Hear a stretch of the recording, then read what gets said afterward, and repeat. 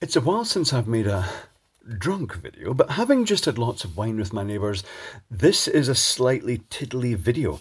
And it just so happens that this is the third of the year that the shops all put out Christmas and Halloween stuff simultaneously, and to be honest, it's the best part of the year.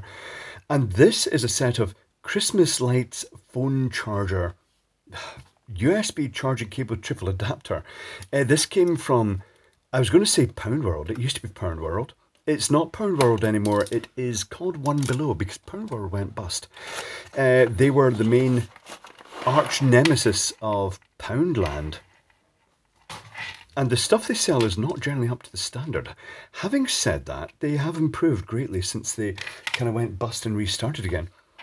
So this is a set of Christmas lights that is also a USB charger for your phone. It's got the main incoming lead here, and then it's got what looks like an Apple charger here, and then a micro USB charger that can either plug into the Apple type charger or into a USB-C connector by the look of it. Interesting. So Poundland did a version of these and they had a bit of a checkered history. They uh, often they actually had three wires. This has only got two wires, but the uh, uh, the Poundland stuff they had the sort of like the the standard USB cable going through, but they also had an extra pair of wires for the LEDs, and they had a resistor. But unfortunately, a lot of them were miswired, and the first LED actually uh, had the resistor in the wrong place, so the first LED would often go pop and fail quite dramatically, uh, and the others would light normally because it was limited current to them, but not that one. But this is a, I guess this is a resistor per LED because it has, uh, let's test that. Let's use the little uh, USB tester and we'll see what current it draws. It should be in the region of, I think, how many LEDs are there? 1, 2, 3, 4, 5, 6, 7, 8 LEDs. Oh shit! It's drawing over an amp.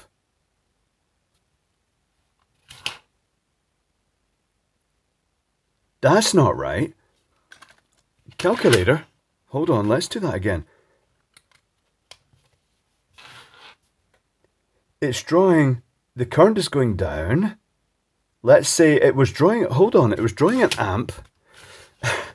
1000 milliamps divided by 8 uh, LEDs equals 125 milliamps per LED. That's not right. Do these have resistors built into them? They, they're not sticking the LEDs directly across 5 volts, are they? Well, that's a good start. Uh, can I get one of these out? Can I... Hold on, they're, they're glued in. All I need is one of these out to actually just rip it open and see, right, tell you what, if I can't get one of these LEDs out because they are hot melt glued in, I shall... Uh, oh, there, there's one. Right, tell you what, where's that knife? Let's see if there is a resistor or not. That's dire. There must be a resistor. Surely there must be a resistor per LED. Let me just peel this off. Let's zoom down in this so you can uh, see the reveal. Oh shit, that's a bad start. Uh, let's try that again with a, a super sharp knife while trying not to stab myself in the process. Actually, right now, I've just I've become so disenchanted in this set of string lights, I'm not really bothered if I damage them. Is there a resistor? Hold on, I'm just trying to peel this uh, heat shrink off and see what's inside. This is where the side cutters would have been really handy, but I've not got them through here. I've been using them through another room. There's no resistor. They've actually wired LEDs directly across the 5 volts. How odd. Okay. One moment, please. Right, I've connected a meter. I've cut the end off here and I've connected the meter across the two wires coming through and if I uh, plug them in, the LEDs are very, I mean, they're not that bright. They're dimming down. They are struggling. Uh, 4.73 amps at the end. Well, minus 4.73 amps because the polarity I've connected. But uh, it does appear to be just basically drawing a huge amount of current to light the LEDs and they're overdriving the LEDs and I don't expect them to last too long. Why would somebody do that? Why have they done that? Um, I'm perplexed. Tell you what, I'm just going to leave this lit for a while and see if the LEDs start conking. One moment, please. Back again. Uh, the LEDs are not happy. This one started flickering. It's gone very dim. The voltage, I said amps before, I meant volts. The voltage has now risen because the current through the LEDs has dropped to about 342 milliamps. Hold on. Uh, let's do the maths here. Uh, 342, 344 milliamps right now, divided by, I'll tilt it up at the right angle this time, divided by the 8 LEDs equals 43 milliamps per LED, which is between 3, 2 to 3 times what you'd normally run at. And to be honest, I'd have expected to run these at about 5 milliamps, given that this is a USB charger. You want as much current for charging your phone as possible. Um, I'm inclined to say at this point uh, that these LEDs are struggling, that they should have had a resistor per LED. I'm not sure what planet they're on to actually do this, to actually just slap LEDs across the 5 volts. I don't think they're rated for that in any way. Um, initially, I thought maybe they're current limiting LEDs. Well, they are in a sense that the current has really dropped now.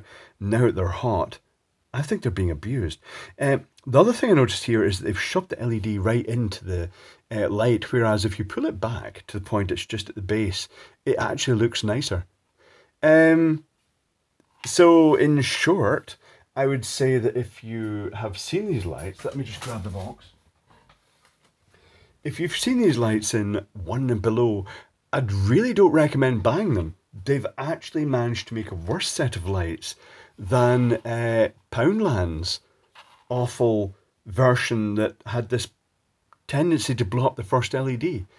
Uh, fascinating, but having said that, a bit of isopropanol down the end of these will probably liberate these caps. Perhaps you could uh, use them on something else, but I really wouldn't recommend actually using this thing. It's just an absolutely terrible design. And in a way, that's a great start to Christmas. Little extra update. Remember how hard it was to get the LEDs out before? Uh, well, it's not so hard now because they're getting so hot that they're actually melting the hot melt glue and you can actually pull... Oh shit, they've gone out complete. That's because I've unplugged it. They're actually getting so hot, they're melting the hot melt glue that holds the LEDs into the housings. Uh, so they're really easy to get out now. Also, notice this LED that is now super, super dim. That was the blue one that is uh, gone super dim. Yeah, they're melting their own hot melt glue. Wow, that is outstanding.